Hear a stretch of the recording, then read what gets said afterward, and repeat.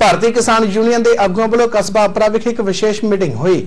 Meeting ਨੂੰ ਸੰਬੋਧਨ ਕਰਦਿਆਂ ਬੁਲਾਰੇ ਨੇ ਕਿਹਾ ਕਿ ਮੁਕੰਦਪੁਰ ਤੋਂ ਅਪਰਾ ਤੇ ਮੁਕੰਦਪੁਰ ਤੋਂ ਫਗਵਾੜਾ ਬਾਇਆ ਦੁਸਾਂਝ ਕਲਾਂ ਦੀ ਜੋ ਸੜਕ ਹੈ, ਉਹ ਪ੍ਰਧਾਨ ਮੰਤਰੀ ਸੜਕ ਯੋਜਨਾ ਅਧੀਨ ਕਰੀਬ 2.5 ਸਾਲ ਪਹਿਲਾਂ ਬਣਾਈ ਗਈ ਸੀ। ਪਰੰਤੂ ਹੁਣ ਇਹ ਸੜਕ ਬੁਰੀ ਤਰ੍ਹਾਂ ਨਾਲ ਟੁੱਟ ਚੁੱਕੀ ਹੈ ਅਤੇ ਇਸ ਵਿੱਚ ਵੱਡੇ ਵੱਡੇ ਟੋਏ ਪਏ ਹੋਏ ਸਨ, ਜਿਸ ਕਾਰਨ ਇਹ ਸੜਕ ਆਏ ਦਿਨ ਹੀ ਸੜਕੀ ਹਾਦਸਿਆਂ ਨੂੰ ਸੱਦਾ ਦੇ ਰਹੀ ਹੈ।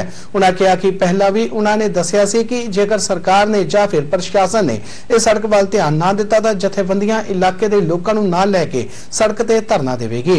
ਉਹਨਾਂ ਕਿਹਾ ਕਿ ਇਸ ਸੰਬੰਧੀ ਉਹ 20 ਫਰਵਰੀ ਦਿਨ ਮੰਗਲਵਾਰ ਨੂੰ ਸੜਕ ਤੇ ਜਾਮ ਲਗਾ ਕੇ ਧਰਨਾ ਦੇਣਗੇ। ਉਹਨਾਂ ਕਿਹਾ ਕਿ ਇਸ ਦੌਰਾਨ ਲੋਕਾਂ ਦੀ ਖੱਜਲ ਖੁਆਰੀ ਦੇ ਜ਼ਿੰਮੇਵਾਰ ਸਰਕਾਰ ਅਤੇ ਪ੍ਰਸ਼ਾਸਨ ਹੋਵੇਗੀ।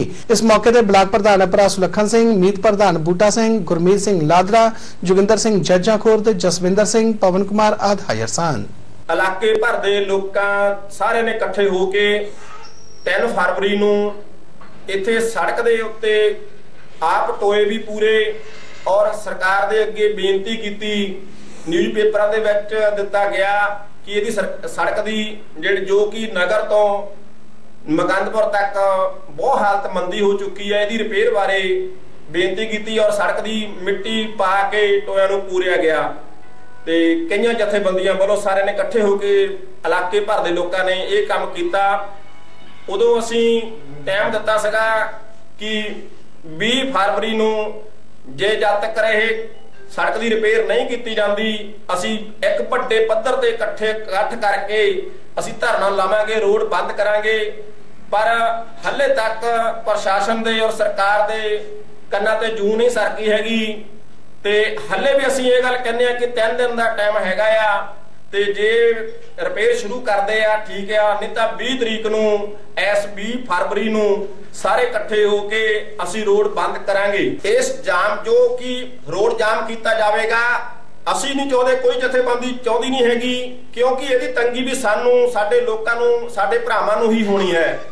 ਕਿਉਂਕਿ ਅਸੀਂ ਵੀ ਇਸ ਗੱਲ ਤੋਂ ਮਜਬੂਰ ਹਾਂ, ਲੋਕੀ ਸਾਰੇ ਪਰੇਸ਼ਾਨ ਨੇ। ਇਸ ਜੋ ਰੋਡ ਦੇ ਵਿੱਚ ਕੋਈ ਵੀ ਨੁਕਸਾਨ ਹੋਵੇ, ਸਾਡੇ ਧਰਨੇ ਦੇ ਜਦੋਂ ਸਾਡੇ ਧਰਨੇ ਦੇ ਮੌਕੇ ਤੇ ਕੋਈ ਵੀ ਨੁਕਸਾਨ ਹੋਇਆ, ਜੋ ਵੀ ਕਿਸੇ ਨੂੰ ਤੰਗੀ ਆਊਗੀ, ਇਸ ਤੰਗੀ ਦੀ ਜਿਹੜੀ ਜ਼ਿੰਮੇਵਾਰ ਹੈ ਉਹ ਸਰਕਾਰ ਹੋਵੇਗੀ। ਇਹ ਸਾਰੇ ਆਪਣੀਆਂ ਵੋਟਾਂ ਲੈ ਕੇ ਆਪਣੇ ਆਪਣੇ ਘਰੀ ਬੈਠ ਜਾਂਦੇ ਆ, ਕੋਈ ਆਣ ਕੇ ਕਿਸੇ ਦੀ ਨਹੀਂ ਲੈਂਦਾ ਸਾਰੇ ਰੋਡ ਟੁੱਟੇ ਪਏ ਆ, ਮਕੰਦਪੁਰ ਤੋਂ ਅਪਰਾ ਤੇ ਇਧਰੋਂ ਨਹਿਰ ਵਾਲਾ ਲਾ ਲਓ ਫਗੋੜੇ ਵਾਲਾ, ਇਹਨਾਂ ਦੇ ਆਪਣੇ ਪ੍ਰਧਾਨ ਮੰਤਰੀ ਯੋਜਨਾ ਦੀਆਂ ਬਣੀਆਂ ਆ। ਕਿਸੇ ਨੇ ਦਵਾਨੀ ਨਹੀਂ ਲਈ ਪੈਸੇ ਖਾ ਕੇ ਉੱਤੇ ਤੇਲ ਪਾ ਕੇ ਤੁਰ ਗਏ, ਕੋਈ ਮੁੜ ਕੇ ਨਹੀਂ। ਸਾਰੀਆਂ ਸੜਕਾਂ ਟੁੱਟੀਆਂ ਪਈਆਂ। ਇਸ ਕਰਕੇ ਅਸੀਂ ਖੈਰ ਨੂੰ ਵੀ ਚਾਹੁੰਦੇ ਆ ਵੀ ਆਣ ਕੇ ਦੇਖੇ, ਇੱਥੇ ਆਉਂਦੇ ਨਹੀਂ। ਤੇ ਸੰਤੋਖ ਸਿੰਘ ਚੌਧਰੀ ਨੂੰ ਵੀ ਕਹਿੰਦੇ ਆ ਵੀ ਆਣ ਕੇ ਇਸ ਇਲਾਕੇ ਦੇ ਵਿੱਚ ਕੋਈ ਕਿਸੇ ਤਰ੍ਹਾਂ ਗਾਂ ਜਨਤਾ ਨੂੰ ਅਪੀਲ ਕਰਦੇ ਆ ਨਾ ਕਾਂਗਰਸ ਨੂੰ, ਨਾ ਅਕਾਲੀਆਂ ਨੂੰ।